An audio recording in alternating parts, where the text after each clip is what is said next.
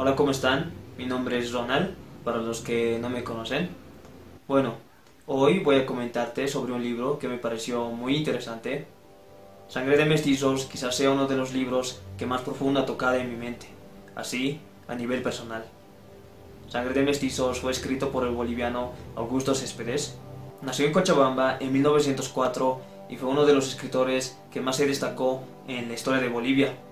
Además que también se dedicó al periodismo y fue un oficial de reserva de la Guerra del Chaco, lo cual influyó a que él escribiera esta gran obra.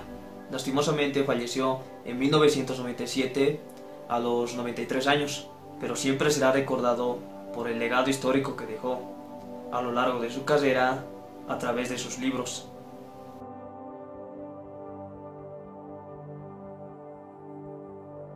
Entrando a las características del libro, Sangre de Mestizos fue escrito por Augusto Céspedes. El libro fue publicado en 1936 por la editorial Capibara, en la ciudad de Santiago de Chile. Sangre de Mestizos corresponde al género de, de novela narrativa. Bueno, con el código de registro de... El libro está escrito en el lenguaje español o castellano. Tiene 207 páginas en cuanto al contenido, son nueve diferentes relatos que podemos encontrar en el libro. La dificultad se podría decir que es un libro intermedio. Eh, no es un libro difícil, pero tampoco es un libro básico.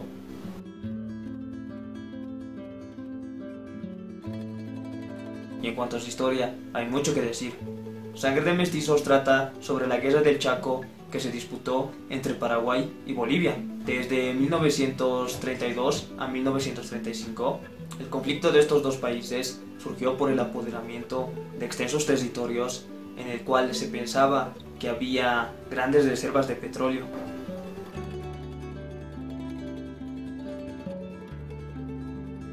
Pero más allá de las causas que desataron esta guerra, existen historias muy personales, muy profundas, que no han sido contadas.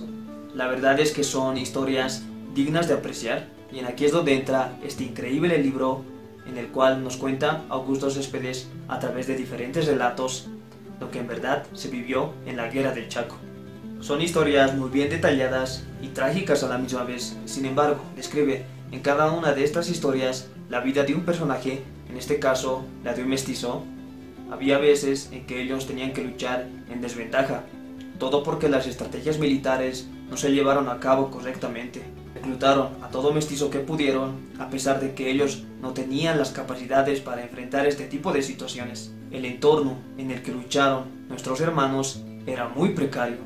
Ellos no estaban acostumbrados a luchar en lugares muy selváticos donde el calor sofoca a un nivel extremo, sin mencionar la falta de agua que acabó con cientos y cientos de soldados. Había veces en que el agua era muy apreciada debido a las sequías que se daban en algunos lugares del territorio, pero otras veces las lluvias no paraban, parecían interminables. Todo esto sumado a la guerra que tenían que afrontar. Pero bueno, seguro se estarán preguntando allá si yo recomendaría el libro. La respuesta es sí, yo sí recomiendo este libro, incluso lo tomaría como un libro que todos deberíamos leer obligatoriamente. Pero bueno, como ya te había dicho, no es un libro cualquiera, sino, más bien, creo yo, que es un libro rico en historia, con unos detalles muy específicos que te hace sentir como si estuvieras en la guerra del Chaco.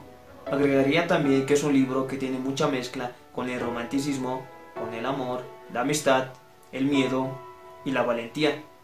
Además, que estos relatos forman parte de nuestra historia y nos cuenta todo lo que nuestra gente, todo lo que nuestros soldados, nuestros mestizos vivieron en este infierno de la guerra del Chaco.